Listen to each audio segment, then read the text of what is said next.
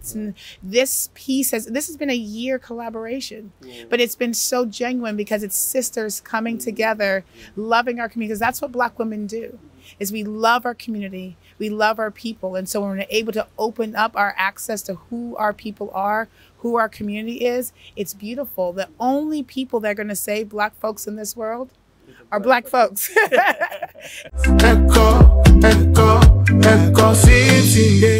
So now let me ask you, um, what is the way so far? What is the way forward so far for this collaboration? What do we do next? What are we waiting for? What is the next thing for us to do now? That's a good question.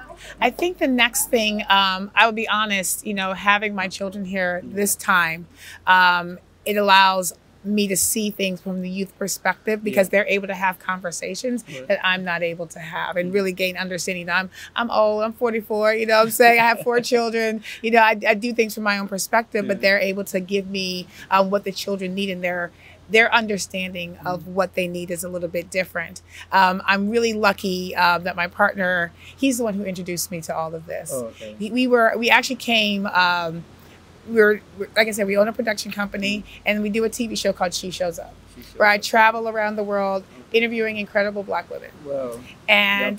I wish, hopefully. but he um, he came to Ghana and he said we're going to do our first episode in Ghana. Okay. And so I thought I was just going to interview dope women in Yeah, Ghana, you know, because that's the thing. He brought me to the Queens. He brought me to this whole world and this space that I didn't even know existed. And so all the work that I've done with women and all Mm. the work that I've done across uh, the country and the world, I didn't recognize what was here Yeah. and the depth of what was here until I came that first time. And it changed my life. Well, We came the second time. We did a whole road trip all the way up to Togo. ooh. We went to Oh, Volta nice. region, camped on the on the beach in Volta Yeah. region. What? What? What? Who does that? You know, and then I brought my children. Mhm. And one thing that I didn't realize that they were going to experience was safety and freedom to the extent that they have. Yeah. We don't have that in the States. Freedom. Freedom. We don't have safety. You know, the reality of black folks being so hurt mm. that we hurt other black folks. Right. I've lost three friends in the last couple of days that I've been here. Three. Right? Three that I've lost. That's not what the city has lost. Yeah, you. You know, three. so we had uh, And so if you've lost three, what about the everybody else. There was a shooting not too long ago where they, where there were 17, 18 year olds that were shot and killed, and they killed other 18 year olds. And so they don't get to walk down the street in my city Mm. with safety and Yeah. joy.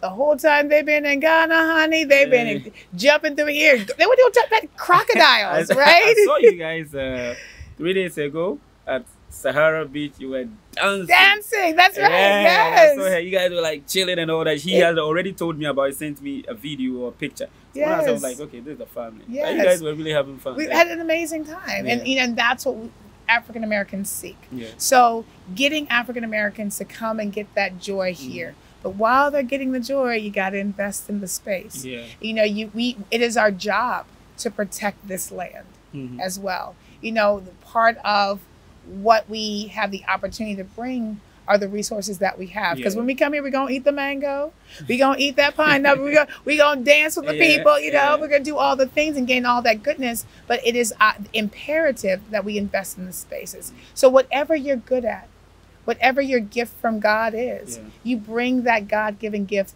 home. So if you are a teacher, come teach. Mm-hmm. If you are a doctor, come heal. If you're a lawyer, come advocate.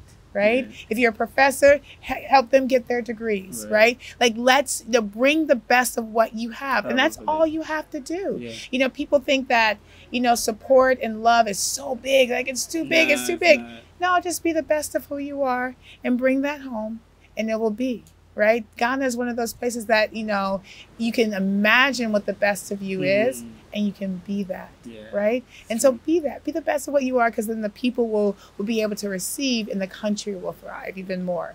Great. So being the best you are, I read an, an article that says Uh-oh. that you're an attorney. yes, she's a lawyer. Yeah, we say a lawyer. I don't know if you use the same word with it. We, lawyer, Okay, attorney, lawyer, same thing. Yeah. attorney. hmm And in Ghana, you can't be a Rasta because I know you have dread, right? Yes. Yeah. You can't be a Rasta and be a teacher or a doctor or a nurse. You can't be any of them. But you're a Rasta and and you have dreads, hmm and then you're a lawyer. Yes. How was it like? I mean, what was the difficult part or the easy part, and what is going on now with you? Yes. So what's so funny is getting called a Rasta in Ghana. It's Oh. so everybody calls me a Rasta. Yeah, because if you have dreads, we call them Rasta. Yes. And so because I'm like, because my my imagine is Rasta is it's a culture and tradition Yeah, in Jamaican culture. yeah. I don't. That's not me. And, I, and, and and one of the items that makes one a Rasta is when you have dread. you have dreadlocks. Yeah, so yes. maybe that is why a lot of people if you call it me Rasta, Yeah. exactly. Yeah. And so what's interesting is um, I work with Black women in Okay. Louisiana, and one of the things that we fight against discrimination across the board. Okay. One area of discrimination that happens in the states is natural hairstyles. Oh. So being able to wear our hair the way we want to. Now it's different in the states mm-hmm. because the reason why we're not able to wear our natural hairstyles is white folks find black hair offensive. They find the white, the, the black hair. Offensive. And so there have been laws since we were enslaved Mhm. that said we had to cover our hair because white women didn't like it. Whoa. There were in their laws in school. So even it's not even locks, it's braids. Little girls at school getting their braids cut out if they want to go to school, getting kicked out of school. Um, people getting, you know, any kind of hairstyle that is black, not just locks, but any hairstyle that's attributed to blackness, Blackness. and race, it's you can discriminate against. And so one of the things that I worked hard on Mhm. um, is getting laws passed that said you can't do that Yeah. that you cannot say I have I can't wear my hair the way I The way you choose want it, yeah. um, and black hair the way I want to with and we were able to do that and Mm-hmm. Yeah, so my okay, partner and I okay. work and we put together films Okay. that told the story of black hair and got like the first laws passed Wow. in our state Give in our state thank you yeah shout out to Damian D Smith for those incredible films those Mm. award-winning films and that's what's changed our state Okay. so when it comes to hair, it is a sensitive topic for me Mhm. in the States. However, in Ghana, Mhm. I'm a guest. Even though this is home, Yeah. culturally, traditionally, I am a guest. So it's hard for me to have an opinion Mhm. on the reason why things culturally are occur Yeah. because I don't know fully the context of why that is. Um, and so, you know, I, you know, I haven't experienced any negative understanding of who I am here when it comes to my hair. Yeah. Um, but I, this is actually, uh, you know, because I haven't experienced Yeah. that. But I will say that hair for Black women, or Black women in the States, Mhm. is an expression of pride in Okay. who we are. Okay. I chose locks because it makes me feel like I can be fully myself. Okay. You know, there is black women when we are showing love to each other in the states, we, Mhm. we touch each other's hair. Okay. So when you're doing locks, you roll the locks. Mhm. Um, you get someone to roll your locks and, Yeah. and tighten them Mhm. up, right? Yeah. There are so many black women's hands that have touched this hair. Okay. So this is love. This is love. This is love. This is, you know, when I've been sad, when I've been tired, Yeah, black women have it, poured take it, love into me and I can feel it's like it's a hug. Yeah. And so that that's why I wear locks because when I'm out in the states fighting racism, when Mhm. I'm fighting sexism, when I'm fighting bigotry and Yeah. hatred towards black folks and women, Yeah. I can touch my hair and I'm reminded Yeah. of what love feels like. And so I feel like what the reason why we choose a hairstyle is because that we want to elevate how we feel. So whatever hairstyle we choose, we should allow people to wear that so that they can feel big, so that the community can thrive. Yes, we need to respect that, you know, people and how they want to live, how they want to have certain things on. Now, there are people who are watching you. I know you're big, so you have a lot of people watching you now. What would you say your last word to the brothers and sisters in the diaspora who would want to try and move to the motherland or pay a visit or do Mhm. anything, invest in anything? What is your last words to these people? Mm. You know, I, I actually did a post the other day, Okay, um, and I I said Ghana is New Orleans. okay. Ghana and New Orleans are Haiti. Mhm, We are Jamaica. mhm. We are the black kids that are playing soccer in France. Yeah.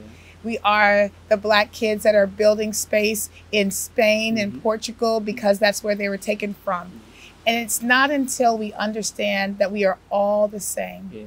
not until we recognize that we are going to be the ones to save ourselves, Mhm. that we will win and actually feel what freedom feels like. And so if you are thinking about supporting or being in this space, do it. Yeah. Because if you love yourself, if you love your children and you love your community, you will support everybody equally and bring the best Yeah. of what you have, Right. the best of who you are to the spaces that need it. Wow, this is awesome. Hey, so I'm really, really happy having this conversation with a big sister and then a queen mother. Yes, so forget about big sister. She's a queen mother. I need to respect that. So thank you very much, guys, for checking out my YouTube channel.